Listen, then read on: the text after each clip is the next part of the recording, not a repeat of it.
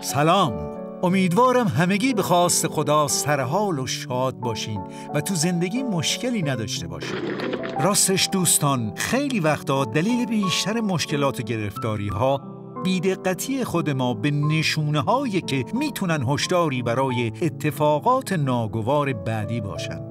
امروز قصه و مسئلی در این باره با هم تماشا می‌کنیم. قصه پرنده و گنج.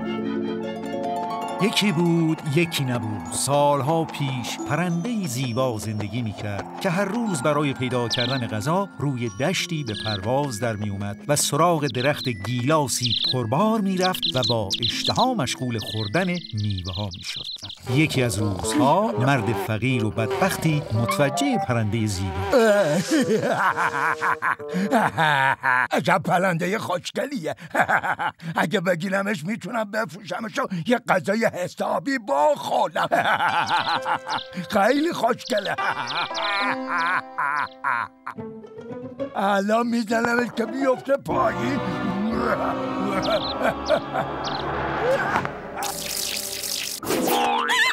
ای به خوشگشان نخورد بهش نخورد بهش. ای پرنده بالاخره میگیرمت. حالا می‌بینی نمی‌تونی از دست من فرار کنی. واسه چی به من سنگ پروندی؟ من که به تو کاری نداشتم. با حرفم بلدی بزنی. حالا اگه بگیرمت کل پول گیرم میاد. آره همین خیال باش. حالا بهت نشون میدم. می‌بینی؟ روز بعد باز هم پرنده به دشت رفت. اون می‌خواست به سراغ درخت گیلاس بره و دلی از عزا در بیاره. اما روی درخت هیچ اثری از گیلاس نبود. انگار که کسی همه اونها رو چیده بود. پرنده خیلی ناامید و گرسنه بود. تا اینکه چشمش به دانه های زیادی روی زمین افتاد. پرنده خیلی ذوق زده شد.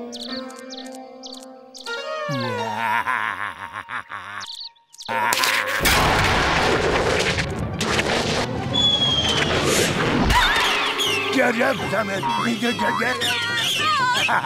بالاخره گرفتمت دیدی گرفتمت دیدی گرفتمت گرفتم گرفتم و گرفتمت و گرفتمت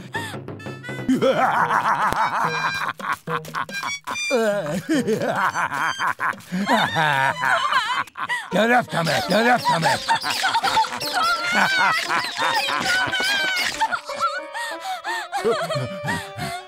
حالا که آمد حالا می‌برم و میفروشمت. دیگه گرسنگی تموم شد. بهتر منو آزاد کنی. اگه آزادم کنی یه هدیه خوب بهت میدم. هدیه هدیه. آخه تو چه هدیه می‌تونی به من بدی؟ خیلی مسخره است. مسخره پس معلومه اون گنجو نمی‌خوای. چی؟ گنج؟ زود بگو ببینم چطور حرفتو باور کنم؟ تو جای گنج از کجا بلدی؟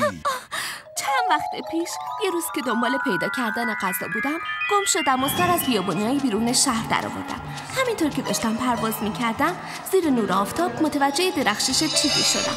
اول فکر کردم یه گودال آبه اما وقتی پایین رفتم فهمیدم اونا سکه های طلا هستن که برق می‌زنن. ولی خب گنج و طلا به چه درده پرنده می‌خوره؟ زود باش زود باش منو ببر اونجا. اگه قول بدی که بعد از پیدا کردن گنج منو ولم کنی جاشو بهت نشون میده باش. اگه راست بگی یا پول دلم کنی دیگه بعدش تو رو می‌خوام چیکار بریم. بس کجا؟ چلا نمی‌رسیم؟ مردم از تشنگی دیگه رسیدی اون درخت نگاه کن. اون روبرو. جانمی جان خودشه جانمی جان پولدار شده پولدار شده کلای ناب خوشبخت شدم. پولدار شده حالا وقتش به قولت عمل کنی و منو ولم کنی که بر. بله. بله بله بله قربونت برم. چرا ولد نکنم؟ تو که به درد خوردنم نمی‌خوری. همون بهتر که بری و بار اضافی نباشی. ولی یه سوال ازت دارم. تو که اینقدر زرنگی و گنج از تو آسمون می‌بینی چطوری به این راحتی تو دام من افتادی؟ حتما حال برد داشته. دونه رو دیدی و دامو ندیدی. بله راست میگی. چون خیلی گرسنه بودم از حرس و طمع عقلم درست کار نکرد. چون ارزش دونه واسه پرنده ها مثل ارزش گنج واسه آدم هست. مثل همین حالا که تو هم دونه رو دیدی و دامو ندیدی چی میگی؟ منظورت از این حرف چیه ها؟ ای آدمی ساده لذیذ اینجا چی کار می‌کنه؟ بول بیابونی. با گنج من چی کار داری؟ آه، وایسا ببینم. وای وایسا. به دادم برسی.